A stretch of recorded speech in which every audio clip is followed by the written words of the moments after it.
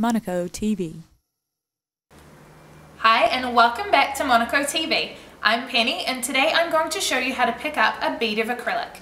Please bear in mind that this tutorial is intended for our students and for qualified nail technicians. Otherwise, we don't recommend trying this at home. If you want to join our academy, go to www.monaconailacademy.co.nz. First, let's discuss the brush. When you dip into your dipping dish, gently press against the bottom.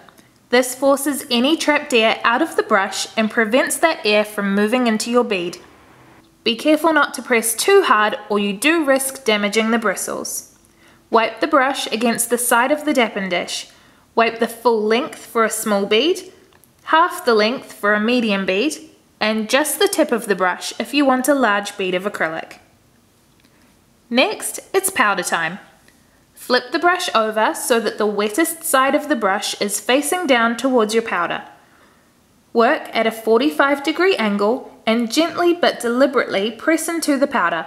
Once, twice, three times.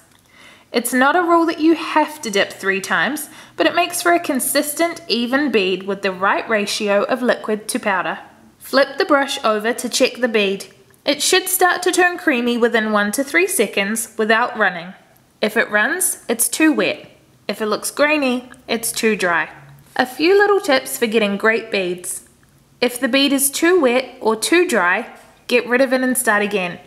Don't worry about wasting product. It's much better to waste product and do a high quality job than vice versa. Try to avoid stroking through the powder. The press should be straight down on that 45 degree angle.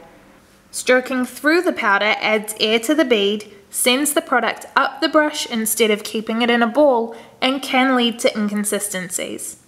Lastly, when the jar is no longer level, tap it instead of shaking it level. Shaking leads to aeration and in case you hadn't clicked yet, air is the enemy. Comment below with any questions that you have and subscribe if you want to see more. For extra tutorials and articles, go to our Facebook page linked below. I'll see you next time. Monaco TV.